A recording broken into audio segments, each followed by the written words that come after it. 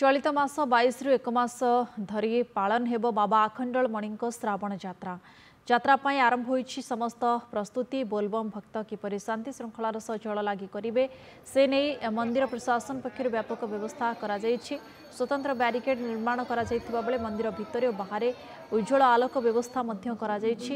କାଉଡ଼ିଆମାନଙ୍କ ଭିଡ଼କୁ ଦୃଷ୍ଟିରେ ରଖି ପ୍ରଶାସନ ସେବାୟତଙ୍କ ନିଷ୍ପତ୍ତି ଅନୁଯାୟୀ ରବିବାର ରାତି ବାରଟାରୁ ଜଳାଭିଷେକ ନୀତି ଆରମ୍ଭ ହେବ।